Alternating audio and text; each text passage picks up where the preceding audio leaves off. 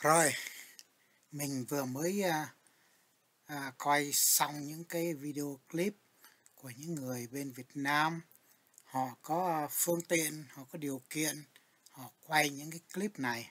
Chứ tôi ở bên này thì à, dĩ nhiên là không có cách gì mà có những cái video clip này được.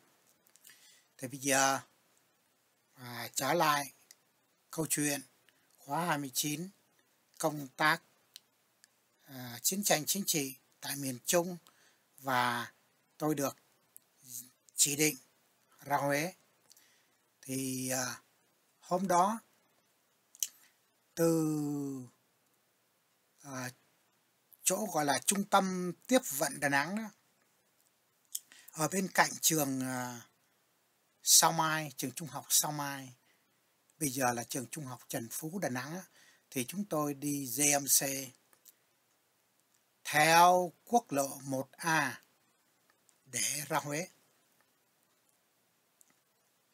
Thì từ Đà Nẵng này đó ra tới Huế đó khoảng à, trên 100 cây số.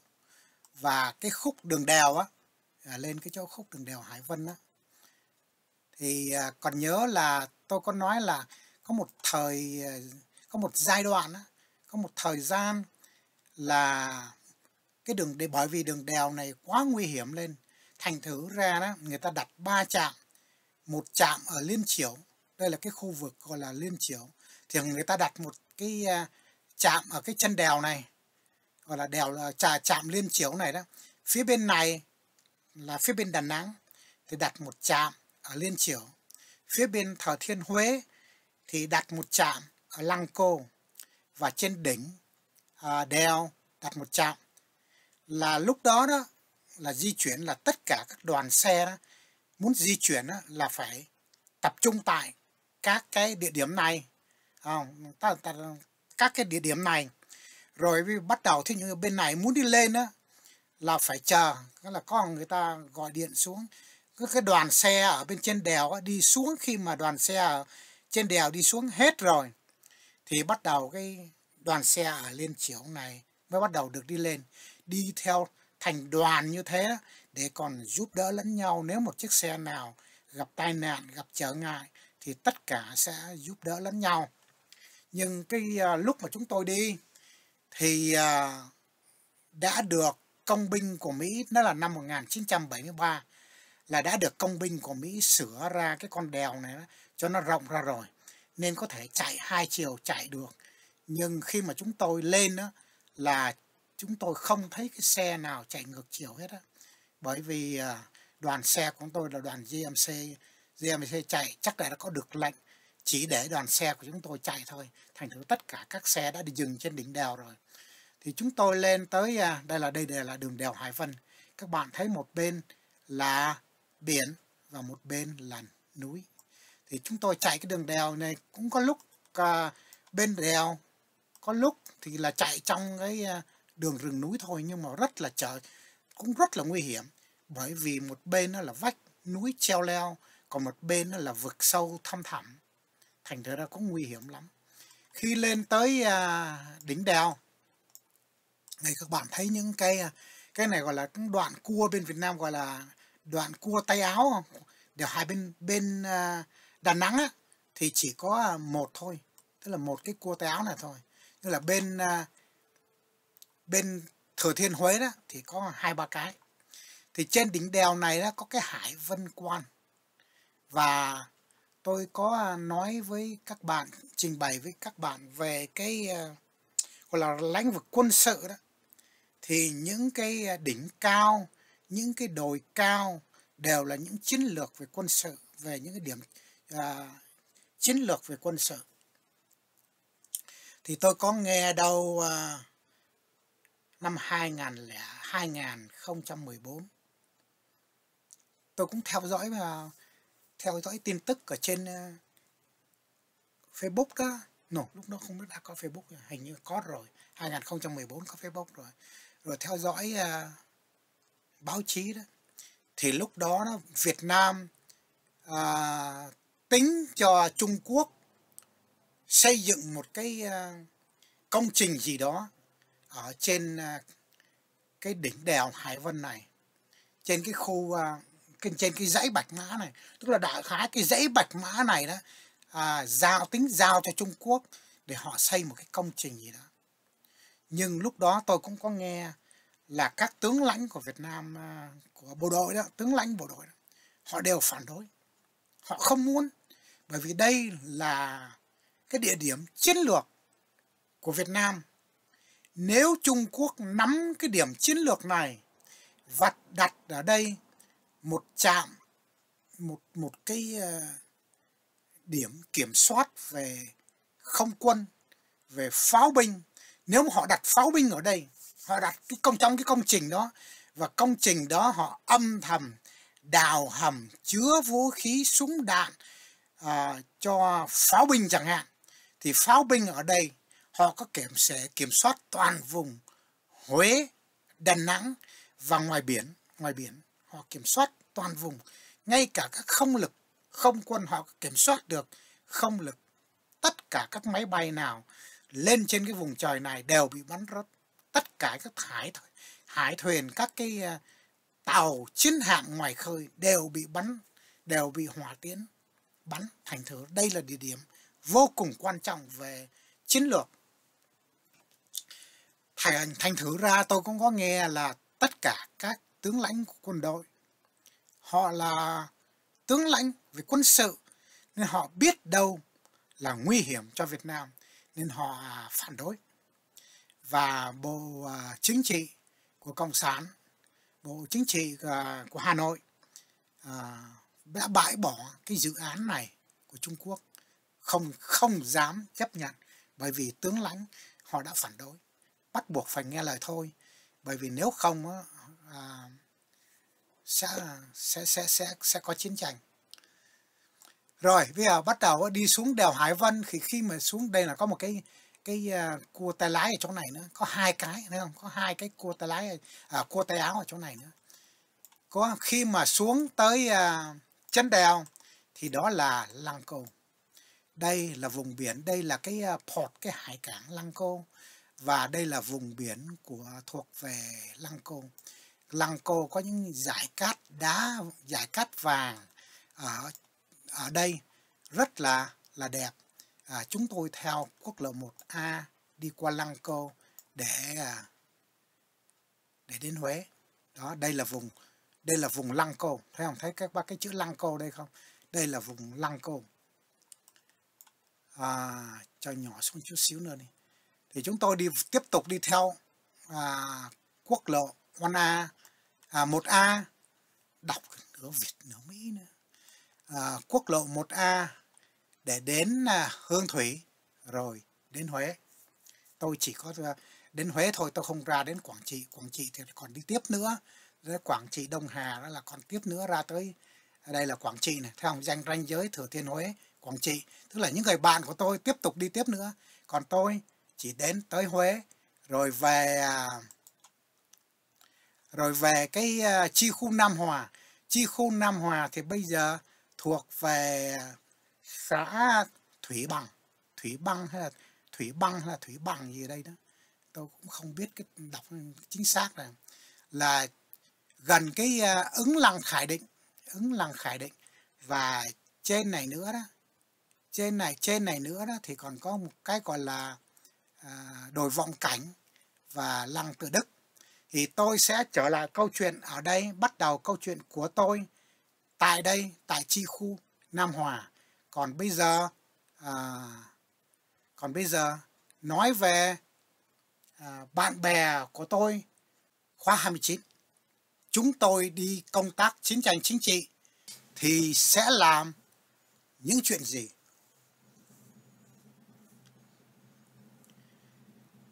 Trước khi đi, chúng tôi được học tâm lý chiến.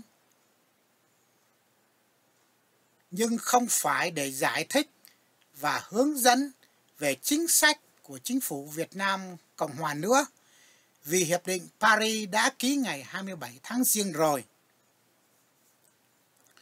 Mà chúng tôi ra đây là để thi hành nhiệm vụ giúp dân chống lại chiến thuật Zabel của Cộng sản.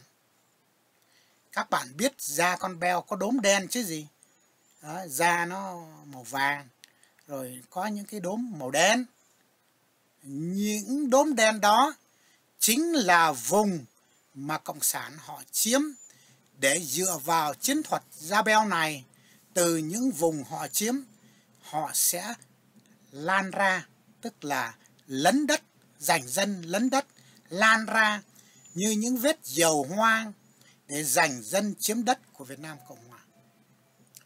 Cho nên nhiệm vụ của chúng tôi là giúp dân khoanh vùng quốc gia bằng cách sơn các lá cờ Việt Nam Cộng Hòa lên cửa nhà, lên nóc nhà, rồi thi hành chính sách cùng ăn, cùng ở, cùng làm với dân để dân có cảm tình với quân đội quốc gia.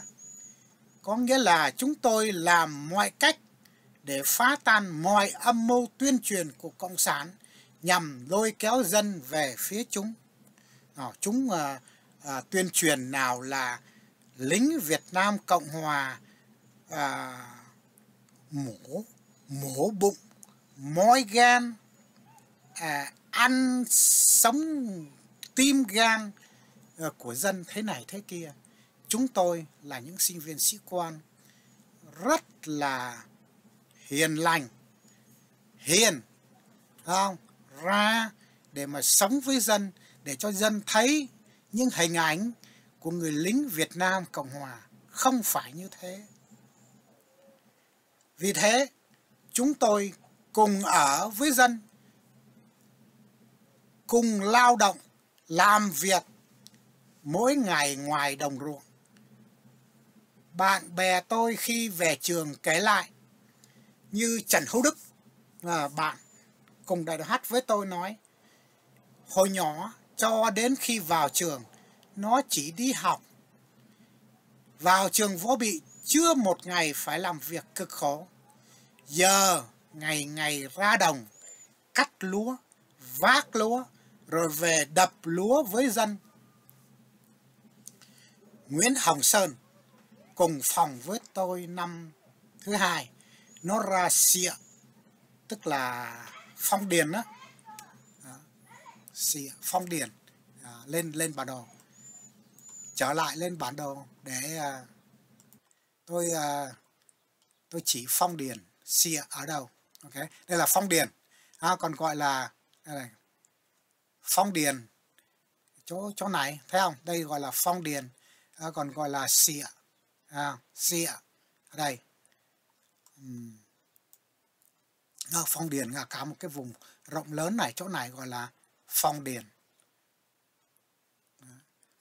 Thì um, bạn của tôi đó là Nguyễn Hồng Sơn đó nó ra đó nó gánh lúa giỏi bởi vì uh, nó cao lớn đẹp trai lắm. Đây đây hình uh, Nguyễn Hồng Sơn nó bị phạt. Không thấy nó nó nó nằm không? Nó chưa đứng lên đó. nó nằm thôi đó mà đã thấy đẹp rồi đó thấy không? À, Nguyễn Hồng Sơn đó là bạn cùng phòng năm thứ hai của tôi đó. Nó mới chỉ có nằm nằm ngửa nằm nghiêng như thế này đó, đã thấy đẹp rồi đấy chưa nói đến cái việc nó đứng lên nó gánh lúa. Nó gánh lúa đó còn cái tướng của nó còn đẹp.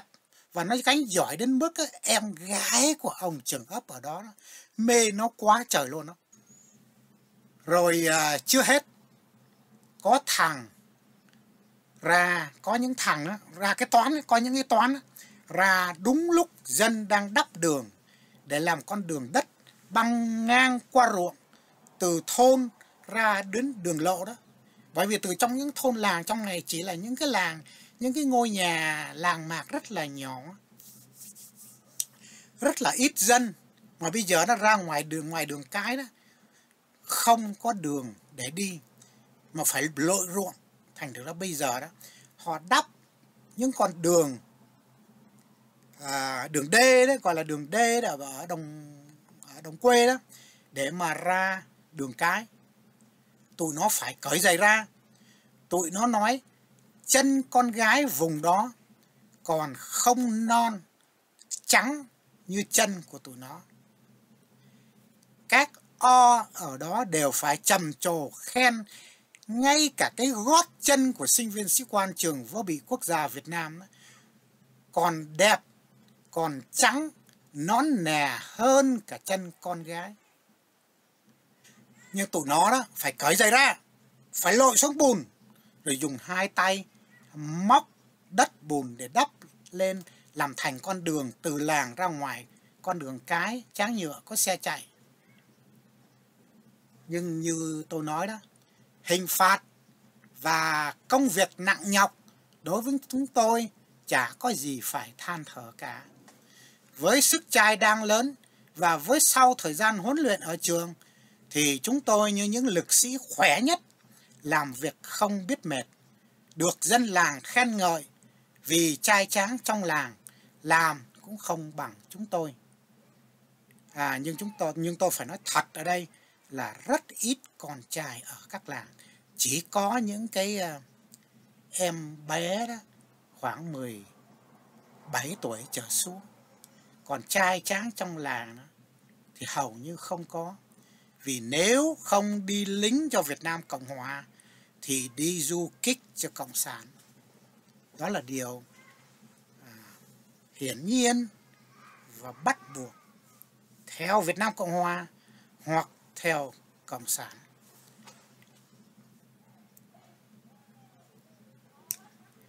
Bây giờ các bạn muốn tôi kể chuyện chưa? Kể chuyện của tôi đó. Hay nói nữa về các bạn của tôi. Tụi nó còn phải đi ờ, sơn cờ Việt Nam Cộng Hòa trên các cánh cửa gỗ nhà dân và leo lên nóc nhà, thường là nóc bằng tôn, giữa trời nóng chang chang tháng 4 tháng 5 ở Huế. À, lúc đó trời ở Huế khoảng chừng uh, 37, 38 độ trở lên, có chỗ 40, 41 độ. Có ngày buổi trưa khoảng 40, 41 độ. Ở Huế vào tháng 5 để sơn cờ. Rồi tụi nó còn phải tổ chức các buổi nói chuyện tâm lý chiến với dân làng vào ban đêm sau bữa cơm chiều. Nghĩa là tụi nó đi công tác chiến tranh chính trị đúng nghĩa, cùng ăn, cùng ở, cùng làm với dân. Và chỉ được đi uh, đi đi đi đi đi đi đi đi chơi gọi là đi ra phố đi ra Huế vào những ngày thứ bảy và chủ nhật. Những ngày thứ bảy và chủ nhật à, thì sinh viên sĩ quan à, đi ra được đi ra phố được đi ra ngoài Huế đi ra các lăng tẩm đền đài thành thử ra lúc đó chúng tôi tràn ngập ngoài thành phố Huế và các lăng tẩm các thành trong thành nội cũng như ngay cả ngoài cửa biển Thuận An.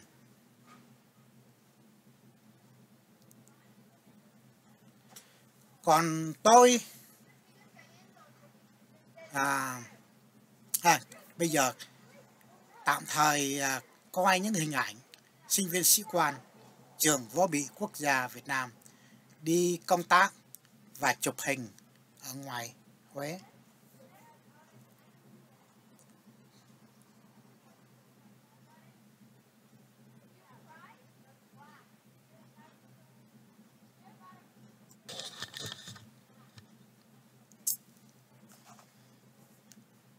Thật sự đó, tôi không muốn kể chuyện của tôi.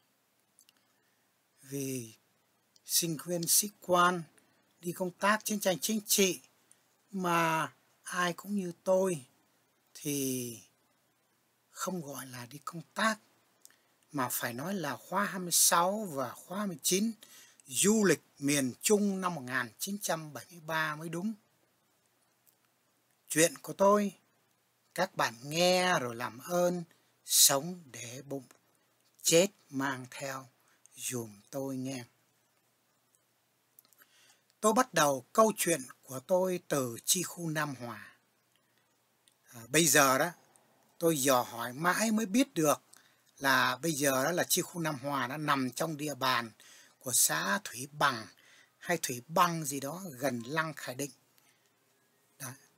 Yeah. Bây giờ các bạn theo cái mũi tên của chị tôi chỉ tôi chỉ là Lăng Khải Định. Lăng Khải Định là chỗ này. Đó, Lăng Khải Định ở chỗ này.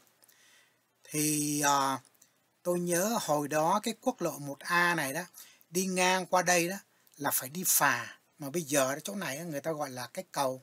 À, để tôi mở mở rộng ra nữa đây bây giờ bây giờ đó người ta gọi là cái cầu tuần cầu tuần ở chỗ này. Mà hồi đó chúng tôi muốn đi qua phải đi phà qua.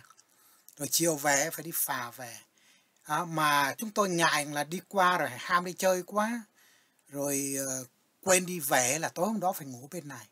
Mà ở bên này hồi đó nó còn rất là ít dân và rất là nguy hiểm về ban đêm. À, lặng con lăng mộ à, hoàng đế minh mạng đây mà chúng tôi chưa bao giờ chúng tôi qua phía bên này. Chúng tôi chỉ đi à, ứng lăng khải định và lên trên này nữa. Lên trên này nữa thì có à, đồi vòng cảnh à, và khiêm lăng mộ hoàng đế tự đức ở chỗ này. À, khiêm lăng mộ hoàng đế tự đức. Tôi sẽ nói về à,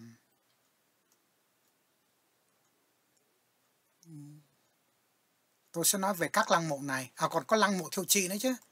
À, lăng mộ thiệu vua thiệu thiệu trị lăng ờ, xương thọ. Tức là mấy cái lăng này đó là à, chúng tôi có đi có đi qua. Tức là vào à, thứ bảy chủ nhật. Để tôi để tôi kể tuần tự tuần tự.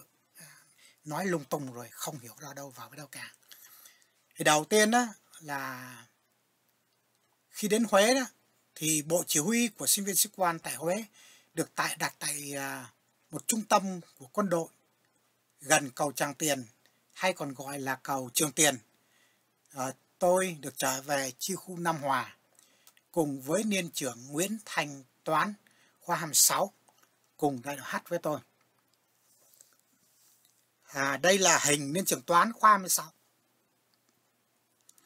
Niên trưởng là trong thời Tân Quốc Sinh ấy, niên trưởng Toán là huấn luyện viên trưởng khoa chiến thuật của khoa 19. Cho nên không ai khoa 19 là không biết và nhớ niên trưởng Toán với câu nói nổi danh. Tôi mà cái việc cứ nhắc lại câu này đó là khoa 19 ai cũng biết. Đó là của ông niên trưởng Toán. À, như thế này. Các anh khoa 29 uể hoài uể hoài thế là ông diễn tả cái chiếc uế hoái ông kéo dài đó thành thử ra vì vì hai cái chiếc uế hoái này đó và chúng tôi nhớ nền trường toán suốt đời. Hiện nền trường toán đang ở à, bên mỹ. Thành ra ông mà nghe tôi nhắc lại cái này đó, chắc ông cũng phải bật cười. Có lẽ ông ấy cố tình làm cho chúng tôi nhớ ra đâu mà ông không phạt nhiều mà mấy ông ông ấy diễn tả như thế là chúng tôi cũng nhớ bởi vì thầy Tân Quốc Sinh ấy, là đậm nét nhất là những hung thần. Chúng tôi chỉ nhớ những ông hung thần mấy ông hiền thần không nhớ. Mấy ông hiền quá mà. Mấy ông hiền mấy ông chăm sóc mình. Nhưng mà mình lại không nhớ mấy ông còn mấy ông hung thần đó mấy ông phạt mình đó là lên bờ xuống ruộng ruộng, ruộng luôn á thì mình lại nhớ mấy ông hoài. À, thành thử ra tôi nghĩ lại đó tôi mà còn có khóa năm e, 32 vô đó tôi sẽ gọi khóa 32 là khóa ba gai. 32 là ba gai rồi tôi sẽ phạt cho nghĩa là tôi là hung thần của khóa 32 đó để cho tôi tôi nói nhớ. Nhưng mà tôi nói thế thôi chứ chưa chưa chắc tôi đã làm. Bởi vì hồi đó tôi hiền khổ tôi ai đứa nào nó nhìn thấy nó cũng bảo giống giống thầy tu giống thầy tu sốt rồi đi lính. Rồi nên uh, trưởng thứ hai là nên trưởng Nguyễn Văn Trường D29 đây là hình của nên trưởng trường. To con khuôn mặt tròn khuôn mặt uh, uh, giống như kiểu là gọi là mặt vuông chữ đền nữa đẹp trai. Mặt lúc nào cũng đỏ đỏ hồng đỏ hồng nha. Cái má đỏ hồng bởi vì người dân ở Đà Lạt ấy, tụi tôi ở Đà Lạt ấy, suốt à, tám uh, chín tháng mà học văn hóa đó học ở trong phòng không ngồi trong phòng không trời trời thì mưa tầm tã bên ngoài chúng tôi ở trong phòng ta học thành thử ra gọi là mình ủ không phải là ủ nắng mà mình trốn nắng đó. da ai cũng trắng bóc rồi ừ, như trai da con gái đó. mà đi về cái xứ nóng đó, là, là da nó đỏ hồng lên đó thành thử ra à, cái ông quan công là da đen đúng không ông đỏ đen còn cái này nó so với nên trưởng trường là quan công là thua xa quan công đen thui còn ông này là ông lên trưởng trường tôi đó mặt đẹp trai lắm mặt đẹp trai lắm. rồi à, tới khoa 19 thì có à, võ thường H29 có Nguyễn Văn Dìn cũng đại đội H khoa 19 Võ Thường hiện ở Canada. À, Nguyễn Văn Nhìn thì Nhìn cũng là bạn cùng phòng với tôi năm thứ hai cùng với Nguyễn Hồng Sơn sau này. Rất là rất tiếc để tôi lúc nào tôi có thể tôi tìm được à, hình của Nhìn không. Mình nhìn thì đã mất rồi, còn Võ Thường thì vẫn còn. Và dĩ nhiên là có cả tôi nữa. Khóa 30, 29 có ba thằng đều là để đội hát. Chiều hôm đến chi khu Nam Hòa, tại vì chúng tôi đi từ à, buổi sáng từ à, Đà Nẵng, nhớ không? Đi qua đèo Hải Vân đến Huế, cái là từ Đà Nẵng đến Huế khoảng trên trăm cây số thôi. Tôi không nhớ chính xác khoảng trăm là mấy cây số vậy đó. Nhưng mà cũng chạy tới chiều, chiều chúng tôi mới về tới à, à, chi khu. Thì ông à, chi khu trưởng và chi khu phó, hai ông thạ, ông này á, là ở à, xuất thân Thủ Đức nên à, nhưng mà mấy ông cũng rất tốt mấy ông ông chi khu trưởng á, cho cho gạo chúng tôi tại vì thường thường chúng tôi ra là phải tự túc về vấn đề ăn uống chứ không có một nơi nào trợ cấp cả à, thành thử ra ông thiếu tá chiêu khu trưởng cho chúng tôi gạo. Rồi là còn yêu cầu à, quân tiếp vụ đó của chi khu đó trợ cấp cho chúng tôi về vấn đề ẩm thực tức là về vấn đề à, cá hộp về thức ăn đó. À, có nghĩa là chúng tôi không phải tự túc nấu ăn như nhiều toán khác. Nhiều toán khác ra bên ngoài là phải à, tự túc nấu ăn hoặc là thuê dân nấu cho ăn cơm tháng. Tức là chúng tôi đã quá may mắn rồi phải không các bạn? Quả thật số tôi vô cùng may mắn nên dù hoàn cảnh thê lương cách mấy tôi vẫn may mắn hơn những người khác. Chiều hôm đó ăn cơm chiều vào à, bàn ăn á, cùng với lính của chi khu. Tôi nhìn thấy có canh trái vả. À, đây là hình trái vả. Ngoài Huế đó rất nhiều cây vả và trái mọc ra từ thân của cây vả. Ờ, cái, cái trái của nó thì nhỏ thôi nhưng mà nó cũng giống giống như là ờ, à, trái à, ờ, để tôi nhớ lại này. Một cái trái ở bên Việt Nam là cái hai quả quả, quả bí đó. Quả bí rợ hay là quả bí ngô gì đó. Đó mà nó còn lúc mà nó còn xanh á còn mà nhỏ đó giống giống trái vả. Đó, người Huế là dùng trái vả này để nấu canh ăn. À, ngoài ra còn cái trái vả này còn làm nôm hay là làm cái, những cái gì đó, người ta làm thái nhỏ ra đó, người ta làm nôm, người ta bào ra, người ta làm nôm cái gì đó. Nhưng mà nấu canh á, thì ở đây nó lính nó cho một màu đỏ toàn ớt. Ở Huế thì canh trái vả rất phổ thông và lính họ nấu canh chỉ có trái vả và ớt, không có tôm, không có thịt, không có gì hết trái vả và ớt. Rồi hạt cá hộp kho cũng toàn ớt tôi nhìn thấy than thầm trong bụng. Mình chết chắc. Hôm nay mình chết chắc rồi. Không qua nổi con trăng này rồi. Tôi ăn cơm. Tự thắng lắm. Nghĩa là tự thắng lắm. Không hít hà. Không, nghĩa là tỏ ra một thái độ gì là cay cả. Nhưng mà nước mắt tự động trào ra vì quá cay đối với tôi nó cứ tuôn ra nước mắt nó cứ tự động nó tuôn ra uh, nghĩa là hào hào vậy đó. Nó rớt xuống nghĩa là không phải là có vòi mà nó rớt xuống từng hột từng hột rớt xuống bát cơm. Lính của chị khu thấy mắt tôi hai hàng lệ rơi lạ chả. Họ ái ngại họ hỏi tôi tụi tôi nấu cay quá hả thôi thứ ý không ăn được à, cay hả tôi lắc đầu nhẹ nhẹ rồi lại gật đầu. Nghĩa là cay quá rồi lúc đó không biết là trả lời làm sao. Không dám hít hà mà lắc đầu rồi lại gật đầu. Nước mắt vẫn tuôn trào chả biết nói sao vì tôi không quen nói dối.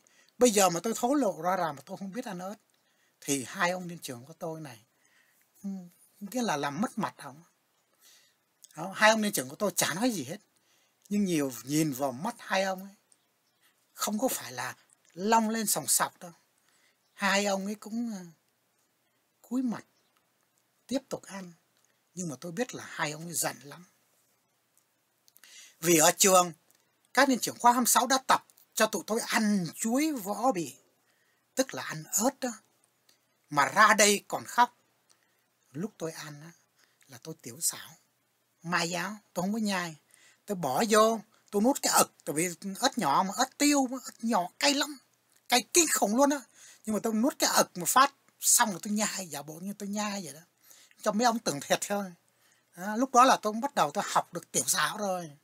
Mấy ông lao quá mà tiểu xảo tiểu xảo tà tà dân chính. Cái tự nhiên cái mình bị nhiễm cái hai chữ tiểu xảo vô cái cũng tiểu xảo luôn. Còn bây giờ mà có người còn nói là uh, đại xảo luôn lúc đó thì nuốt hết ớt rồi còn bây giờ còn mà lúc mà ra Huế đó ăn không được. Bởi vì nó không phải là quả mà nó là nước canh mà hòa lẫn trong nước canh mà nó hòa lẫn trong à, cá hộp thành thử ra. Thành thử ra tôi cũng thấy mất mặt sinh viên sĩ quan võ bị quá.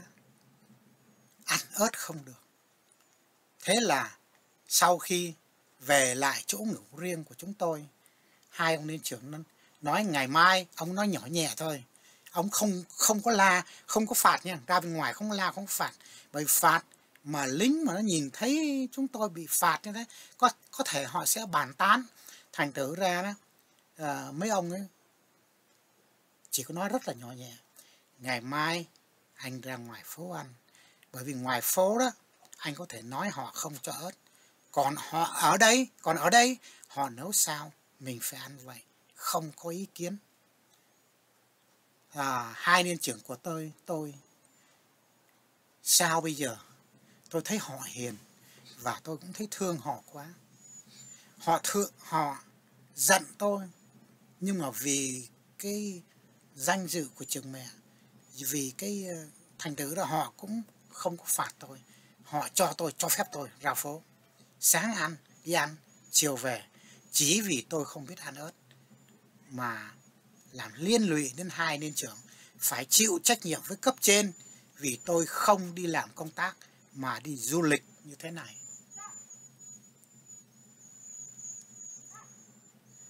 Tôi ờ, có nói với các bạn thời tân khóa sinh rồi chứ gì. Cuộc đời của mình nữa, trong cái rồi sẽ có cái may, sẽ gặp cái may.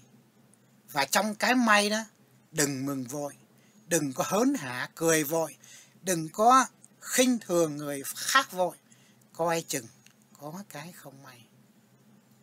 Vì không ăn ớt được mà hai ông liên trưởng cho phép tôi ra phố, coi như khỏi công tác. Sáng hôm sau, tôi đón xe lam ra phố.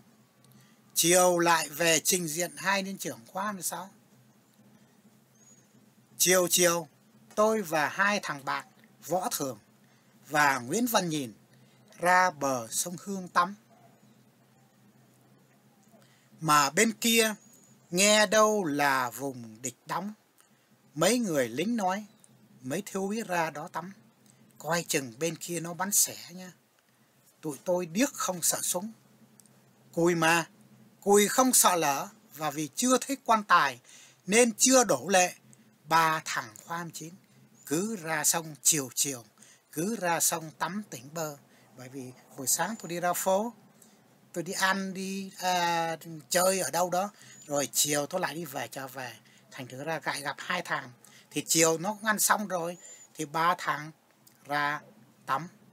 À, võ thường là nó bơi giỏi nhất nó bơi ra xa nhất. Và nguyễn văn nhìn thì bơi ra chặn ở khúc giữa. Và hai thằng nó thúc tôi bơi ra được tới đâu hay tới đó. Tôi là là không biết bơi. Tôi mới tập bơi thôi. Ở nhà trường tập bơi nhưng mà rất là lạnh tại nhà trường thì tập bơi cứ là đại khái là uh, tập bơi ở, ở bờ đó. Tại vì đi lính là phải biết bơi chứ không nếu mà không biết bơi thì chết chắc. Nhớ lỡ lúc nào mà gặp việc đi lính về vùng 4 mà gặp, không biết bơi là coi như là tiêu. Thành thử ra tôi cũng phải tự động tập bơi. Tôi bơi từ từ được đến chỗ nhìn rồi bơi vào lại. Bởi vì chưa đủ khả năng bơi xa đến chỗ của võ thường. Nhưng mà cứ thế đó chiều chiều hai thằng nó hai thằng bạn nó tập bơi cho tôi. Cho đến khi tôi bơi à, được xa hơn ra được được đến cái chỗ của võ thường. Rồi là nó nó bơi kèm theo tôi vào trong bờ. Nhưng chỉ chừng một tuần lễ như thế thôi đó tôi nói với hai à, niên trưởng khoa sáu à, tôi ra phố tiền ăn là bắt buộc phải chi. Nếu mà không ăn thì đói nhưng tiền xe mắc quá. Tôi sợ không có tiền đi xe và ăn đến cuối tháng. Bởi vì lúc đó chúng tôi à, năm thứ nhất á năm thứ nhất với lại năm thứ hai đó là lãnh lương trung sĩ. Mà lương trung sĩ à, tôi không biết so sánh như dĩ nhiên là so sánh với lính thì lương trung sĩ nhiều hơn lính. Nhưng mà lương so với ừ, uh, chuẩn úy thiếu úy lương sĩ quan thì ít mà lại còn bị trừ tiền công quần áo vải. Chúng tôi rất là nhiều quần áo các bạn thấy không? Nào là uh, đại lễ mùa đông rồi mùa hè dạo phố mùa hè dạo phố mùa đông làm việc mùa hè làm việc mùa đông rồi đại lễ mùa hè đại lễ mùa đông cái gì cũng chia ra làm hai mùa. Mà quần áo đó là uh, vải vóc đó, thì chính phủ quân đội họ cho không. Còn bây giờ nó may vừa cho mình á là phải của mình ngay cái bộ Tracy nhà nước phát không cho mình. Cái bộ Tracy là cái bộ lính tác chiến á là người ta phát không cho mình mặc thùng thình lắm. Ít cái đứa nào mà được được cái bộ mà mặc vô cái vừa luôn lắm bắt buộc phải sửa. Mà sửa quần áo như vậy đó là phải tốn tiền công cho thợ máy, thợ sửa. Tại vì thế đó à, ngoài tiền công quần áo ra đó chúng tôi còn phải trừ tiền nhẫn. Bởi vì cái tiền nhẫn nó nó không rẻ. Tiền nhẫn làm bằng vàng. À, tôi không nhớ là làm bằng 18 carat hay 24 carat. Nhưng mà nhẫn nó là nhẫn vàng. Còn cái nạm cái hạt thạch đá thạch đó, đó thì chắc là tôi nghĩ là cũng không mắc lắm đâu. Nhưng mà cái tiền làm nhẫn đó chúng tôi cũng phải à, nộp hàng tháng để mà tích tiểu thành đại cho đến năm thứ ba.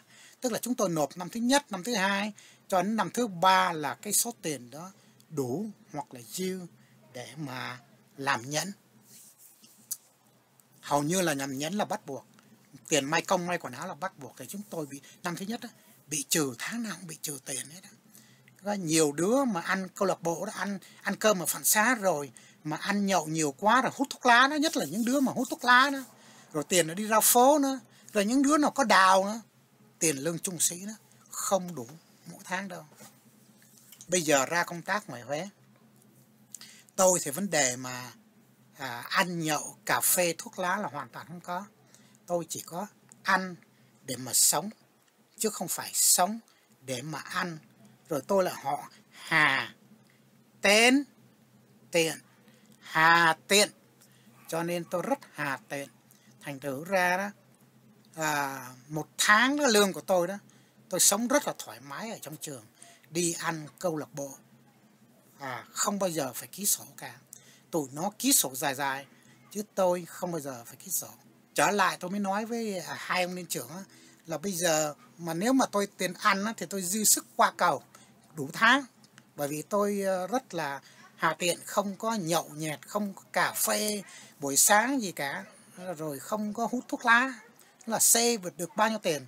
Nhưng mà tiền xe đó, là nếu mà đi tiền xe nó mà cứ đi đi về về như thế, tôi sẽ không đủ ăn cho tôi hết tháng. Thì mấy ông liên trường thấy tôi có lý, nên cho mấy ông cho cho tôi ở ngoài phố luôn.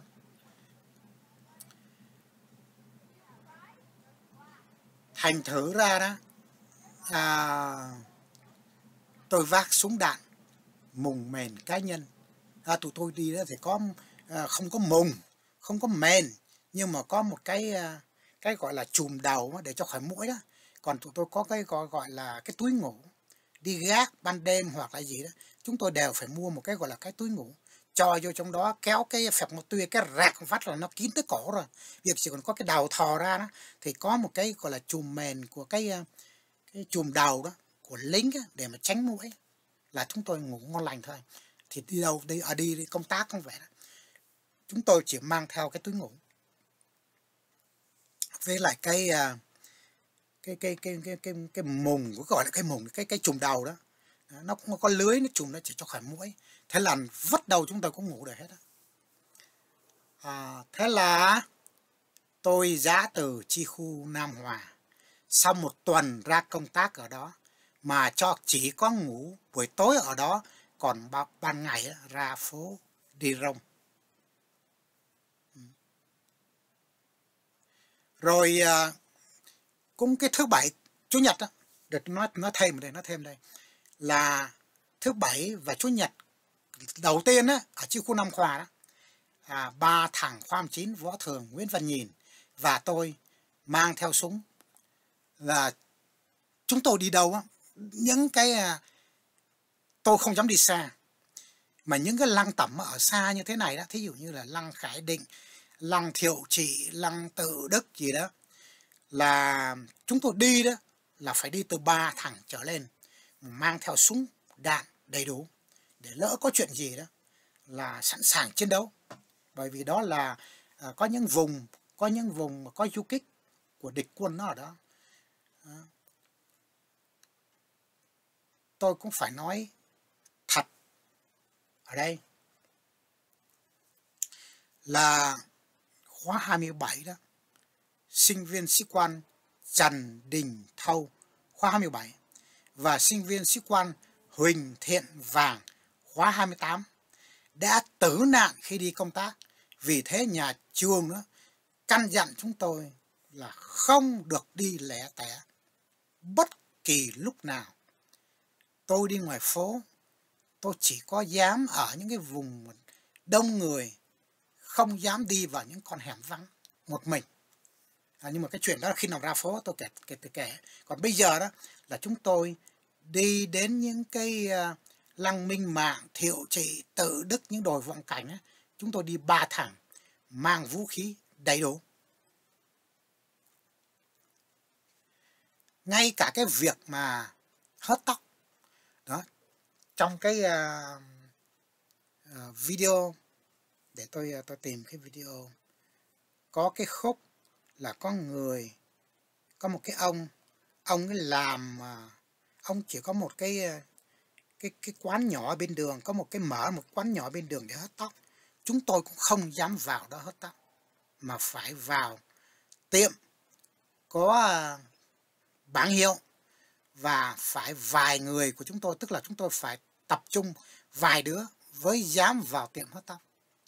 Bởi vì nếu mà chúng tôi mà đi thí dụ như là cái ông à, đó thì các bạn thấy đó là à, cái cái cái cái cái, cái ông hớt tóc đó mà nếu mà chúng tôi vào đây một mình con dao mà cắt tóc đó, mình không mình không biết được ai là Việt Nam Cộng Hòa ai là, là Cộng sản nằm vùng thành thử ra cái lưỡi lam khi mà mình bữa cổ ra cho ông ta cạo râu cho mình đó ông người ta cướp cổ rất là dễ rồi xác người ta vứt vứt vào trong trong cái cái cái, cái, cái, bên xuống sông hoặc là gì thôi là xong rồi. Thành thử là chúng tôi phải vô cùng cẩn thận. Sau đây mời các bạn coi một video clip ngắn mà vô cùng may mắn. Tôi đã tìm được trên à, internet trên youtube. Nhờ channel của Việt Nam ngày nay đã đến tận chi khu Nam Hòa cũ. Tức là à, một cái khu vực của xã Thủy Bằng.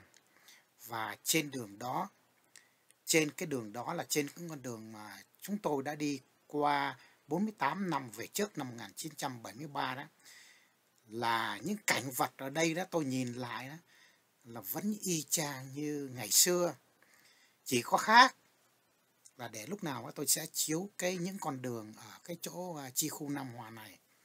Chỉ có khác là à, có một vài tiệm ăn, tiệm cà phê xuất hiện, còn trước đây không có. Còn cái tiệm hớt tóc này là của chú C. Uhm, chú đã à, làm nghề cắt tóc ở cái tiệm này chỉ một là một cái à, à một cái à, à, nói sao cái nhà bây giờ không có nhà thì không phải nhà một cái tiệm nhỏ thôi ở bên đường chú đã cắt ở đây 50 năm về trước tức là trước năm 1973 chú đã làm ở đây rồi. À, tức là năm 1973 khi chúng tôi đi trên con đường này đã có chú. Nhưng mà chúng tôi không bao giờ dám vào đây cắt tóc. Bởi vì cảnh tắc vô áy náy. Chứ mình không thể nghi ngờ tất cả mọi người là cộng sản được. Nhưng mà mình vẫn phải đề phòng để bảo vệ mình. Ngay cả à, đi vài người chúng tôi cũng không không vô cắt ở những tiệm lẻ tẻ như thế này mà chúng tôi phải vào tiệm có à, bảng hiệu cũng như đi ăn, phải vào tiệm có bảng hiệu, không có ngồi lê lết ở các chợ đông ba hay bên lề đường mời các bạn coi cảnh mà chúng tôi đã đi qua 48 năm về trước. Một cái quán cắt tóc nhỏ nhỏ dọc bên đường. Quán của bác à? Dạ, bữa nay bà cắt có được không? À, bà có để à, tượng Phật, ảnh Phật còn à, rất là kháng trang. Dạ. Bà à, làm nghề cắt tóc lâu chưa? năm chục năm Dạ. năm nay bảy mươi một rồi 71 chim sống được bác. lái lái rồi đây hả? Một ngày bây giờ mình cắt khoảng bao nhiêu? Trời, trời lạnh thì ờ, khoảng hai ba đầu rồi thôi Hai ba đầu. Hai ba đầu là bao nhiêu tiền? là cái đầu phải 25 ngàn chứ mấy À, hai ba đầu thì năm chục ha. Dạ, Trả rồi và mình- bảy chục. Trả rồi mà cũng đi cắt ha. hai con đi cái kiếm sống hả Dạ. Ủa con về không? con Dạ. Ra mấy người con? bả thôi Bà hả? Bà ở gần đấy không? Ở ở trung thọ ờ, ra phạm hữu đây là giờ thơ đấy À, dạ, nhưng năm nay mình mở cửa ra cho vô rửa thôi dạ, 50 năm đi là bác con cắt đấy đấy hả? cắt luôn Ờ. làm nghề luôn nghề nghiệp Dạ. dạ. Còn cô bác à, nhỏ nhỏ dễ thương, cái đấy chắc xây lâu rồi bác ấy. cái này lâu rồi Dạ. Cho vừa rồi bảo à, là con Nguyễn như thầy này. ờ, cho À, thầy cho thầy, hả? thầy trong chùa Dạ, thầy cho thầy, mượn để... à, thầy cho xây Dạ, Rồi mình thấy cái đây kìa gia đánh dạ, thầy xây giùm thầy đã xây. thầy xây giùm đó Dạ, mình thầy, cảm ơn sẽ, thầy sẽ giúp luôn. thầy ờ, kéo thờ tới hội lâm giùm À, dạ được rồi. Chắc thầy là tội nghiệp. rồi À, sáng nay con gặp bác ở đây thì con gửi bác à, 200 ngàn ăn sáng. À, chúc mừng năm mới bác hết. Đây là rồi phần quà của- chúc ờ, dạ, Dạ. chúc các cháu và chúc các chị bên ờ, sức khỏe Dạ. vạn sự chú ý Dạ. Nay bác à, làm đắt bác hết. Dạ. Dạ. chúc bà khỏe chúc mừng năm mới luôn dạ dạ cảm ơn bác Dạ. đây là cảnh chủ C đang à, hẹn tóc cho bà con